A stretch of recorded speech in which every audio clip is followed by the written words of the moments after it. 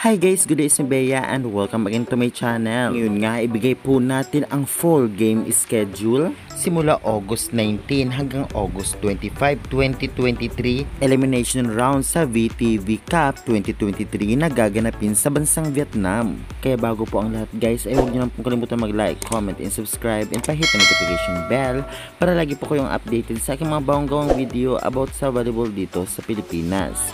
Kaya guys, wag na po natin patagalin pa. Ito na po ang full game schedule. Team Philippines game schedule.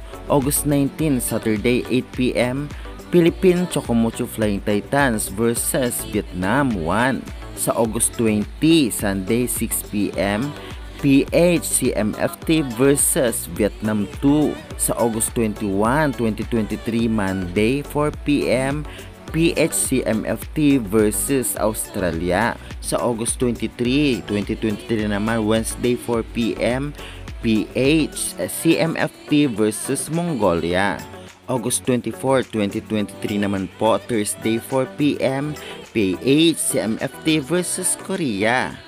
At August 25, last elimination round, Friday 6pm, PHCMFT versus Japan. Kaya guys, ibigay na po natin ang full game schedule sa elimination round na gaganapin nga sa VTV Cup 2023 sa Vietnam. Kitang-kita nga natin na ang lalaban nga o magrepresenta sa ating bansa ay ang club team sa PVL na Chocomocho Flying Titans. Magiging kaabang-abang nga to at talaga naman makikita natin na palaban ngayon ang Team Philippines CMFT dahil nga alam naman natin na malalakas ang kanilang mga kalaban sa Vietnam. Isa pa rito exposure at makikita nga natin na nagpapalakas talaga ang team na ito lalong lalo na sa paparating na PVL All Filipino Conference 2023 sa October. Bukod sa sila ang magrepresenta ngayon ay for the experience na rin.